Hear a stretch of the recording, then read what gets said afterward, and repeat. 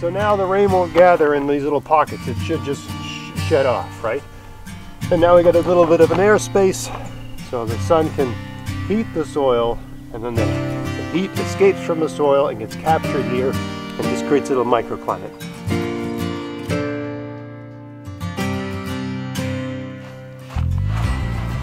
Hey, it's Greg here at MaritimeGardening.com and uh, I just did a video uh, the other day on uh, a way that I, you know, instead of doing transplants indoors, I make a little kind of mini greenhouse and plant in there.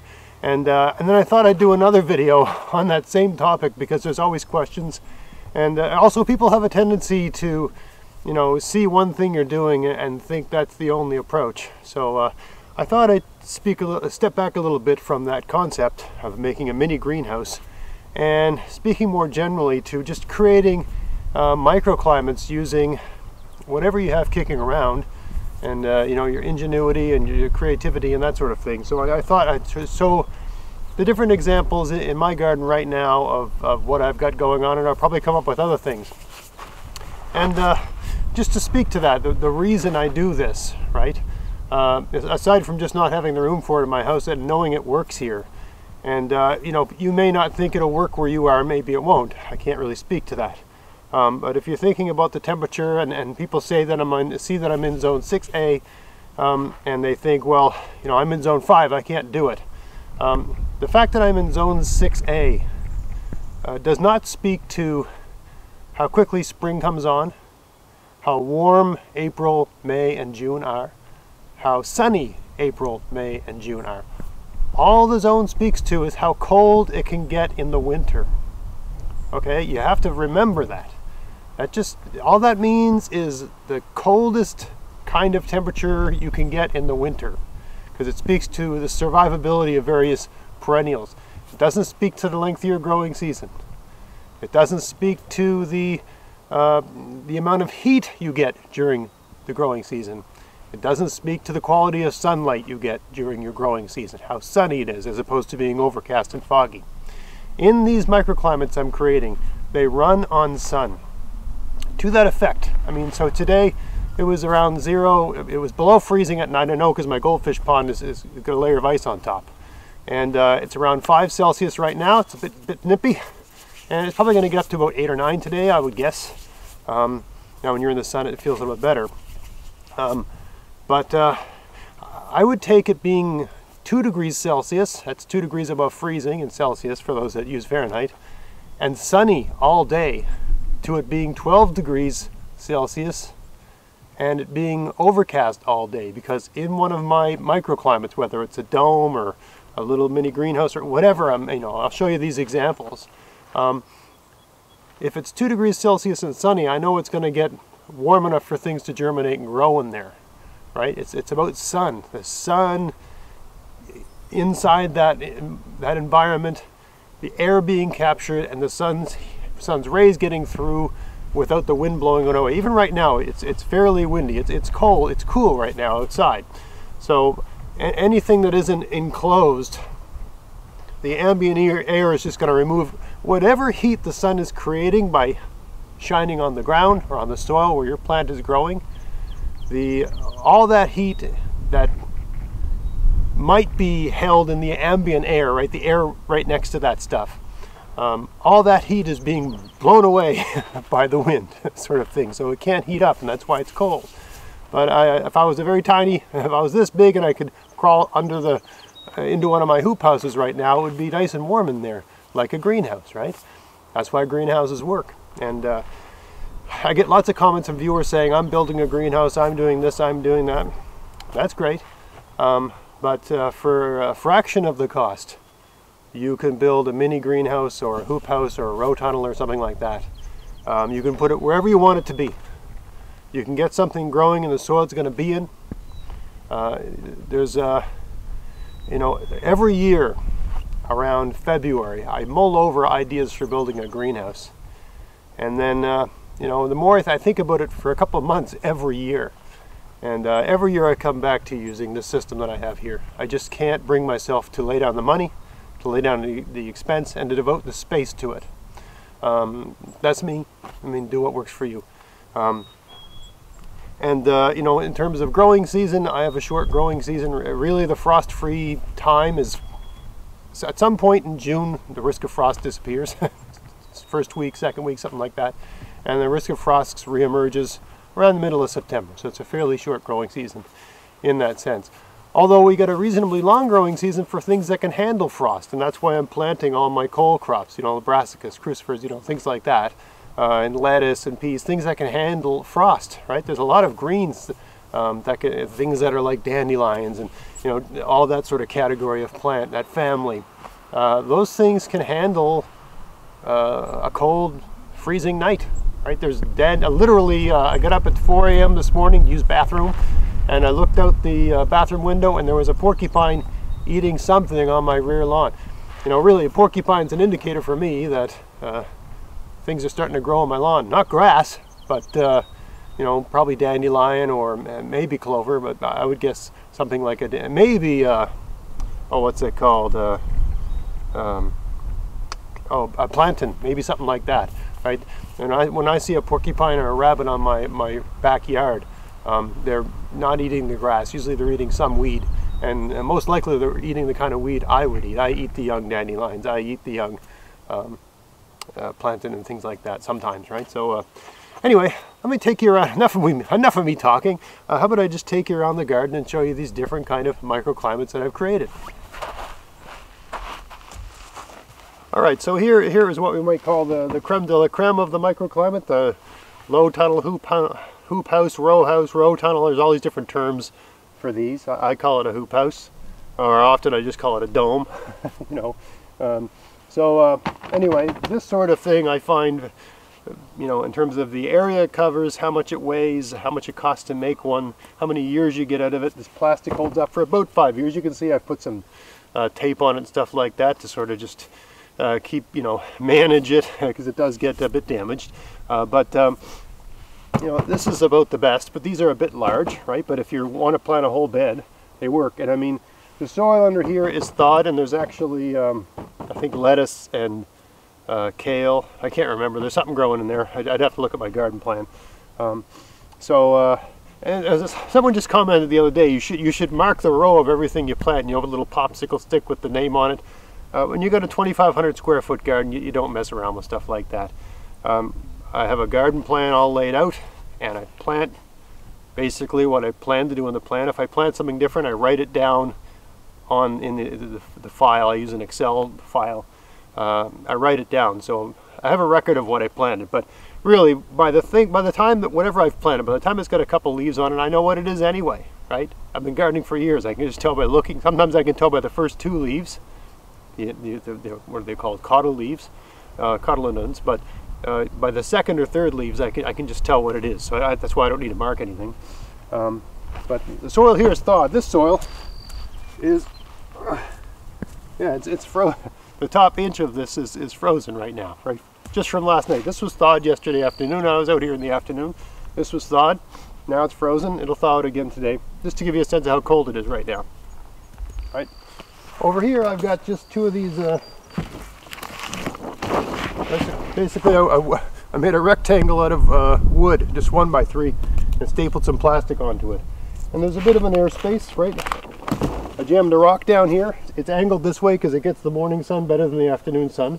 Only slight angle anyway, but anyway, it's uh, propped up so that it's, it's about four inches off the ground. So there's a bit of an airspace there. Not a perfect fit, but you just work with it, right? And uh, these are great because they're very easy to store. Um, all my garden beds, the soil level is usually about three inches below the top. So there's always a bit of a space. So it's perfectly sort of, it really accommodates just using something really simple like this to create a mini greenhouse. I'm growing uh, lettuce in here, I think, as I recall. Lettuce-like things. And so uh, they're really tough and they can handle the cold. So I've just got this plastic on here to get them germinated and get them up a few inches. Once they're up a few inches, I'll, I'll pull this, take this off and use it somewhere else. Right, for, for tough plants like that, you don't need to use the same approach for everything, right? And remember, these microclimates, they just move the season ahead a little bit. So it's April right now, but inside here, it's, it's more like May, right? this is a neat little rig. This is the uh, the, the lid off of one of my uh, cold frames. I dismantled my cold frames. I just gave up on the whole cold frame idea and uh, went with the more of the sort of portable, mobile, temporary uh, greenhouse, temporary microclimate sort of type idea. So this is the lid, and it's got these two uh, sort of triangle-shaped things. Uh, and it's just one piece. It's all one piece. It's light enough for me to pick up. This might weigh 25 pounds, maybe 30 at the most. Um, that's like I can manage that. Um, so uh, I just I haven't I haven't planted anything here yet. I just did this yesterday. I got to figure out something. But for a bed like this, um, you know, you can have basically there's, there's a bit of an air space here, but you can just move the mulch up to jam that space up, right? But there's still enough cracks that if it gets hot in here, the air can bleed off. I had a, a viewer ask me about, you know, how do you keep it from getting too hot? I, I got to say, where I live, I'm, I'm, really not worried about things getting too hot this time of year. But uh, really, all you got to do is, uh, you know, there's always these uh, space gaps that I fill with mulch. Right, so if it's going to be a hot day, I just make it, I can get my hand in there, right? So I just make a hole. you know, uh, maybe uh, at the back, I take a little rock like this and just prop it up a little bit right? Just to create an airspace. That's enough for where I am. Remember, I don't have these on all summer long, right? Uh, it's, it's April right now. Uh, for most things, I just have them on until the plants are large enough to, to move, or the plants are so large they hit the top, and then I get get rid of them. And I really don't want anything covered in my garden. I want the rain coming down on stuff. So, uh, you know, I just have these here to make up for the fact that it's just, uh, it's not warm enough to get good germination right now outdoors. But in an environment like this, you can get the soil warm, warm enough for things to germinate. Uh, later in the year, for things like uh, tomatoes, squash, and stuff like that, I can start them a month early using this approach. Um, you know, but but much further along in the year, right? Maybe maybe early May sort of thing. Here's a little more substantial sort of setup. This was an entire top tier one of my cold frames, right? So I, I just took that whole section off I only had three cold frames and I made three big beds out of them. I've, I've gotten so much more out of the cold frame material since I dismantled them and reused them in this way. Um, anyway, I got this slightly raised bed here, south facing, and I thought, I mean, I haven't planted anything here yet, but uh, it's such a great spot, south facing, uh, the base of a slope, that it just makes sense to have, uh, you know, to turn this part of it. Right, right next to it I've got uh, parsnips growing and some salsify over there. But for right here, I thought maybe this would be a good place to start my uh, eggplant or peppers or something like that. Maybe peppers. Maybe this is a good place for peppers. Um, anyway, I haven't decided all that yet. Still some decisions to make. Um, I made make a garden plan every winter, but I, I change things on the fly based on uh, what makes sense, right? It's still too early to plant peppers right now. Just people, I'm not sowing peppers right now. This is the simplest sort of setup, right? A little microclimate. Now, a bit of a design flaw here. I should actually fix it while I'm on camera here, but so I just put the plastic on top. This is a, a salsify garden. Salsify is kind of like a parsnip, I guess. Doesn't taste like that though. Uh, people say they taste like oysters, but they don't. To me, anyway. As a person who enjoys oysters, I can say they don't taste like oysters at all. Uh, anyway. Uh, oh, ice. Right.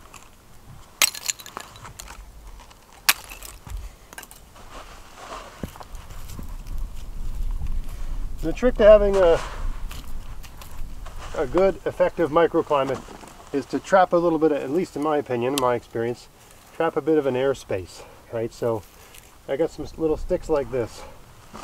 So you just lay them across like this. Right? They're not going to block too much sun. I wouldn't worry about that.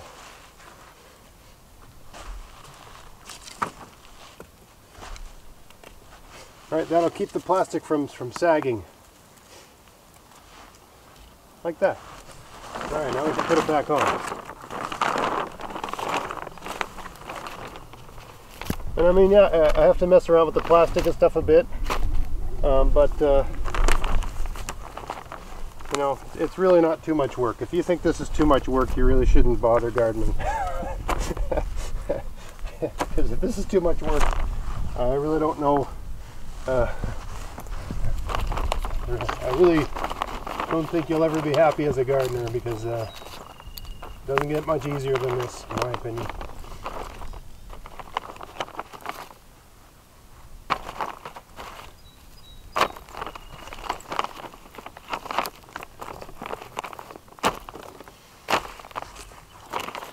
I'm putting the rocks on just to keep it all from blowing away, right? Didn't quite reach, so we'll put this piece here. You know, some people might say that, uh, you know, the uh, the plastic uh, filters out some of the sunlight, and that's that's true. That's completely true. But uh, you got to remember that the uh, the intensity of the sun outdoors, the, the true like the actual sun shining on things, it, it's just so much more intense than uh, than the indoor sun, right? The sun you get when you're indoors. Here, like that. So now the rain won't gather in these little pockets. It should just sh shed off, right? And now we got a little bit of an airspace so the sun can heat the soil and then the, the heat escapes from the soil and gets captured here and just creates a little microclimate. Another application of the plastic here, just got the, the garden bed here that uh, I got peas down the middle here. They, they've uh, at least I've done a couple little checks and the peas have germinated. I didn't prop this up, but uh, this is very temporary. I only have this up for a few more days. Oh, and there's another thing over here I should show you. This little rig here, invaluable little tool to have in a garden. Just a piece of plastic attached to uh, two one by threes, right? If you plant a row of something, you can just flop it over, right? And if you want, you can use a rock or two to, you know, to, to prop it up. There's lots you can do to, to bow it up a little bit. But the great thing about this is that you can just fold it up like that and put it away when the garden season is over. They cost almost nothing to make take up no room. And uh, I start a lot of things under these. I mean, they do, if it rains, they get pulled in like this, but you can just tighten it a little bit.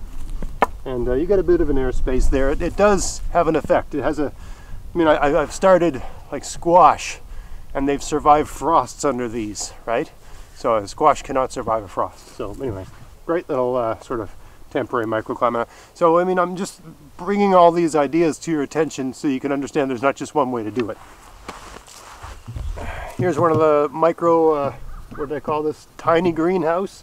Right, I've got, um, what did I plant here? Swiss chard, Swiss chard. I got Swiss chard here. I actually planted too much. I didn't, you know, sort of measure it out properly. I planted too much. So, uh, I just got a, a bit more planted here. I have one of these handy dandy things. These are just great, right? I just stuck it here. There's a bit of an airspace there. Put a couple rocks to hold it down, keep it from blowing away. Right? One on the other side there too.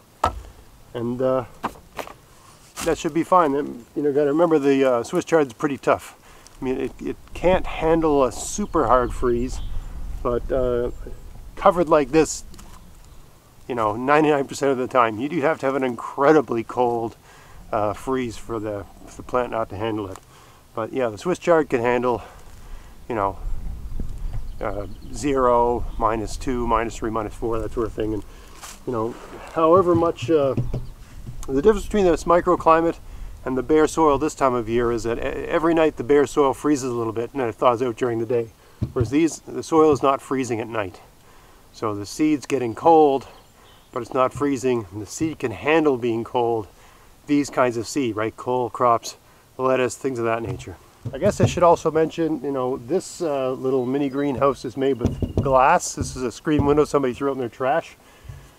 And uh, uh, years ago, when I started using this approach, uh, I basically hoarded a whole bunch of glass and windows.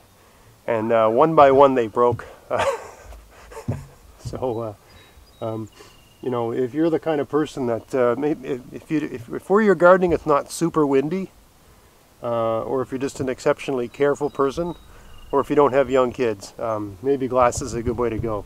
Um, but uh, you know, at some point this glass will probably break. and another reason to use plastic, like the, I got one over here, it's just a wooden box like this with plastic over the top, is that it doesn't weigh nearly as much. And just in case you missed that video that I did on uh, sowing, uh, what did I plant here? Uh, collards. I sowed collard greens here. This is a box just like the one I just showed, but it's got uh, plastic. And I've got some uh, bamboo sticks here just sort of bent to, to create a sort of dome on the top.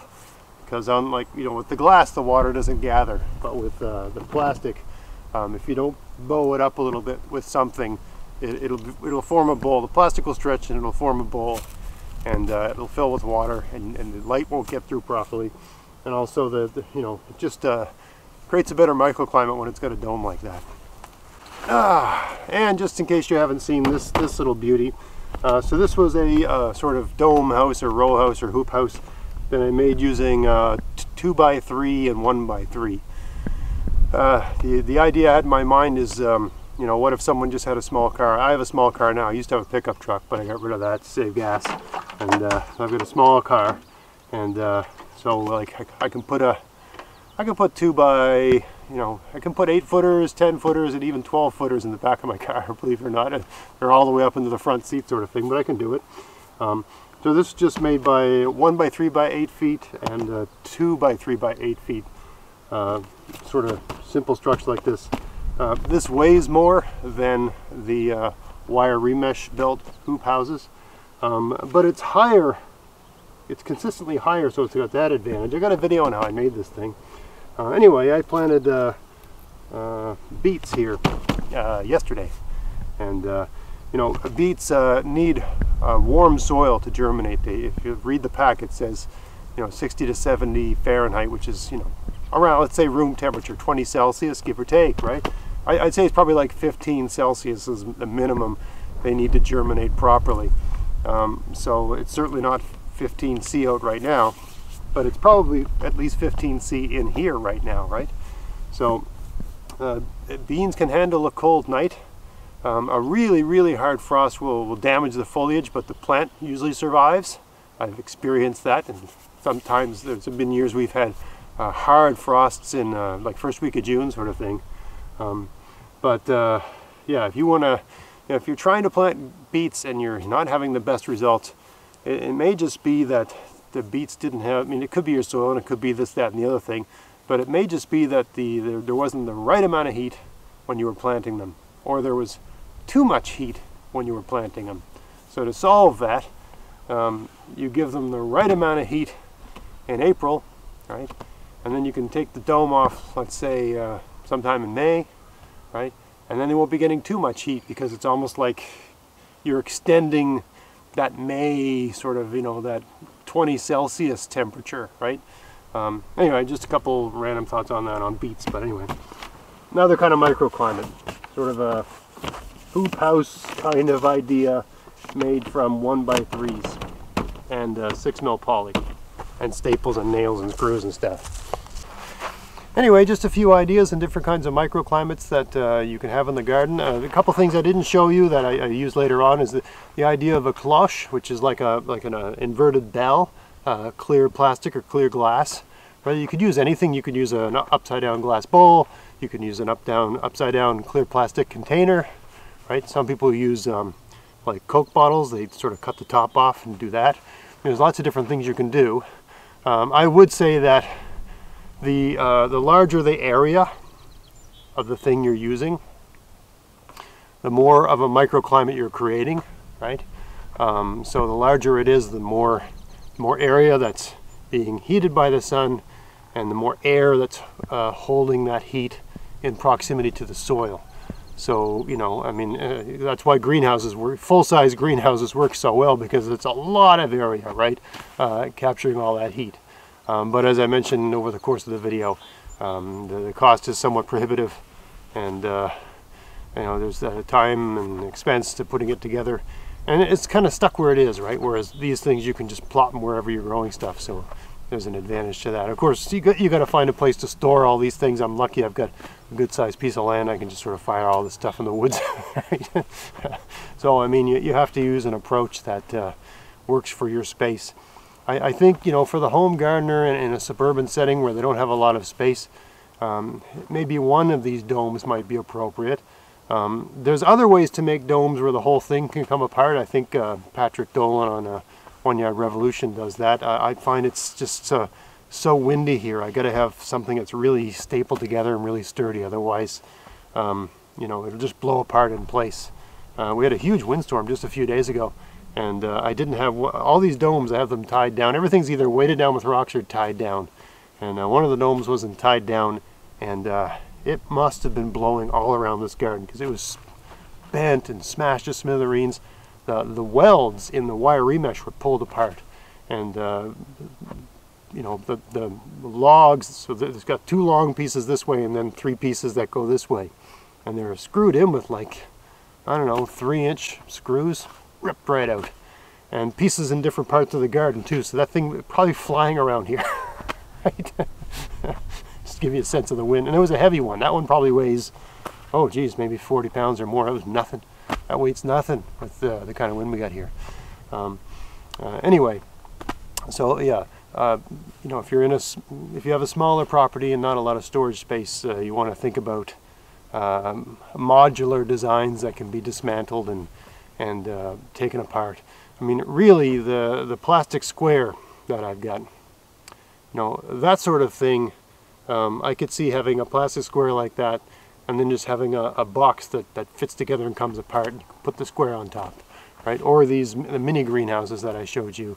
Uh, it might be the ideal thing for the home gardener and there's, there's ways that could come apart too. You, you could build, if you were clever, um, you know, the box could go together with dovetails and if you enjoy that sort of carpentry, you could have the thing just fit together like Lego and come apart. Um, I, I, could see lots of um, uh, ways that could be done. Um, I, I, don't have to do it that way here, so I mean, it takes extra time to do that sort of carpentry, but it's certainly a good winter project. Anyway, I think I've prattled on enough. so uh, I hope that gave you some ideas and uh, you know some uh, some food for thought on uh, direct seeding and getting getting things to start in your garden and not having to buy the transplant in the grocery store and not having to bother doing it in your house. Um, there's a lot of reasons to, uh, to direct seed, um, not the least of which just, I mean, your plants get their energy from the sun, and there is no light like the sun. Um, that's why that's the one that gives you the sunburn. So um, hope you found that interesting. If you did, please like, share, subscribe. Check out my podcast, maritimegardening.com, if you want to hear uh, nice long conversations between myself and other gardeners, or sometimes it's just me. And don't forget to click the bell if you want to get a notification when I make new videos. And until next time, get out there, get at it. Have fun in your garden. Thanks for watching.